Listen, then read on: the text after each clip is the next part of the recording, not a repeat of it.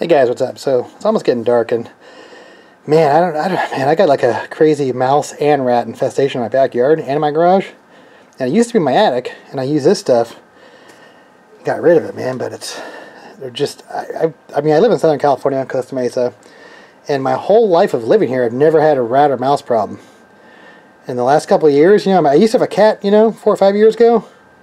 I never had that problem, so I don't know if it was a cat or if we're just having some sort of like crazy rat problem in this uh, Mesa, but yeah, they're in the trees or everywhere. So um, yeah, it comes with a kit, but I'm not going to even use this thing. It's 10 bucks on the Home Depot. I just wanted that, that bait, so I'm going to throw that bait around everywhere. So are, they're getting in my garage this way, but I'm going to throw them around here randomly.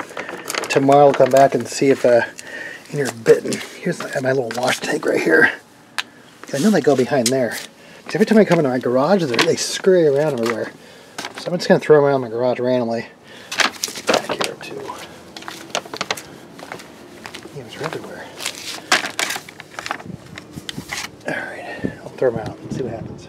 Alright, so I put about 10 out. And uh, we'll come back and we'll see what happens.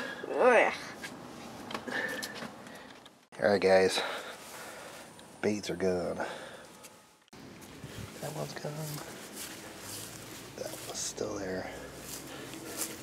Oh, that one's gone too. Yeah, back here is messy. Yeah, they're using that thing as a runway. Like they're, they're cruising down all those lines right there. Took about half video of it. And this one's totally mushed. I had two down here. Um, yeah, it's all gone. So I don't see any bodies though. Alright. We're almost out of that. We're almost out. Yeah, now we got almost out. Day two. Yeah, significantly quiet back here. Alright, that's where it was before. Try it again, night two. It's definitely quieter last night after they took about six or six, seven blocks probably. Good. Put one here, one here. Okay. Done there. Listen here. That's where they got them yesterday. Alright, cool. Alright, so this is night two. Those two baits are fine. You got that one.